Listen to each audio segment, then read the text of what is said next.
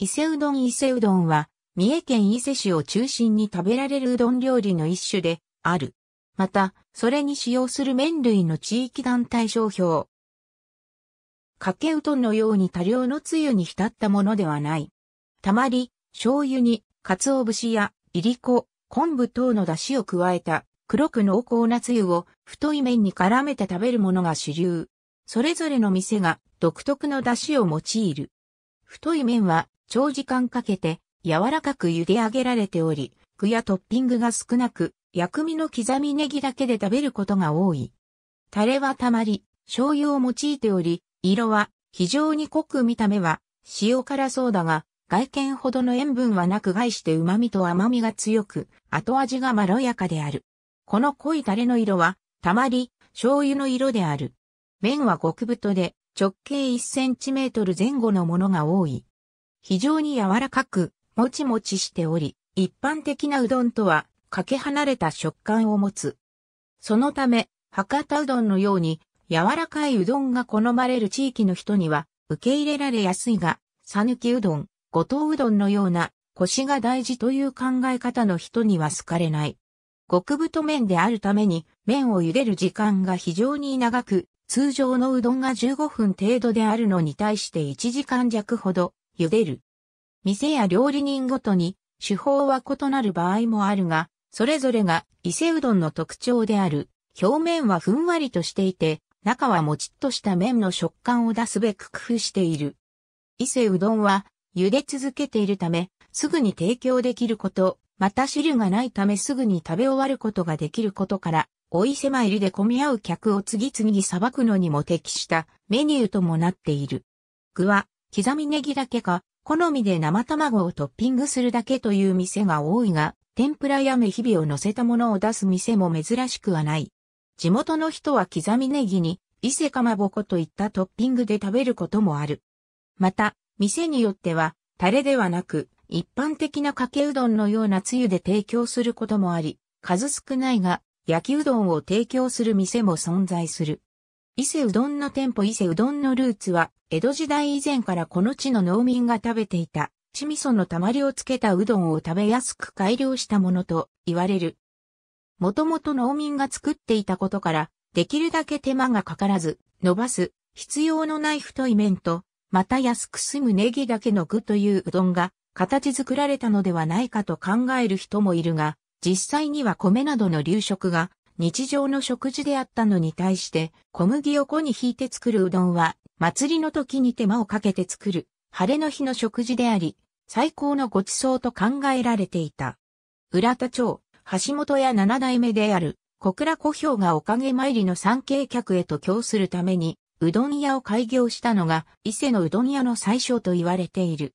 すぐに参拝客に提供できるように常に茹で続け、必要量を釜揚げしていたため、茹で時間を気にしなくて良いうどんが適していたともされる。他に、神宮へ長旅をしてきて疲労が溜まっている人向けの食事として江戸時代に開発された料理であり、消化が良くなるように麺が柔らかいという特徴を持つようになったのではないかという説もあるが、記録によるものではない。三木本魔樹島には、三木本幸吉の実家が、うどん製造店であったことにちなんで、かつて伊勢神宮界隈のうどん店で使われていた手塩皿サイズの食器が展示されており、当時は少量の伊勢うどんを必要な分だけおかわりしていたことが伺える。伊勢うどんは手間がかかるため、発祥の地である伊勢市においても、1960年代頃までは店で食べるのが一般的であったが、伊勢うどんの麺の小袋化を始めた山口製麺、有限会社の先代と三重満醤油合資会社、西村商店の先代社長の協力により、伊勢のうどんつゆが開発され、手軽に自宅で伊勢うどんを食べることができるようになり、伊勢の多くの家庭の冷蔵庫には、うどん玉と三重満伊勢のうどんつゆが常備されるようになった。また子供だけでも簡単に作れることから忙しい親に重宝され、伊勢の子供は伊勢うどんを離乳食で食べ、自分で作る初めての料理として食べ、夜食に食べ、あるいは何にもない時にはとりあえず、伊勢うどんを食べるというのが当たり前になっていった。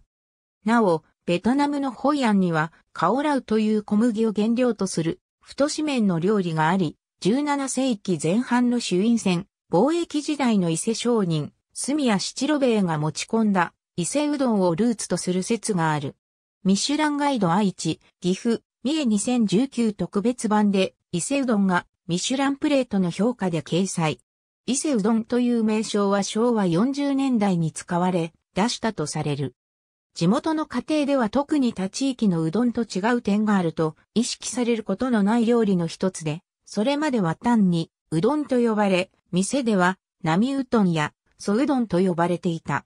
伊勢市麺類飲食業組合は1972年に伊勢うどんと呼ぶことに決め、組合員向けの献立表に記載した。その命名のきっかけには、A 六助が当地で単にうどんとして供されていたものを伊勢うどんとしてメディアにおいて紹介したことがあったとされる。2008年には松阪市に本部を持つ三重県製麺協同組合が申請した伊勢うどんが地域団体商標に登録された。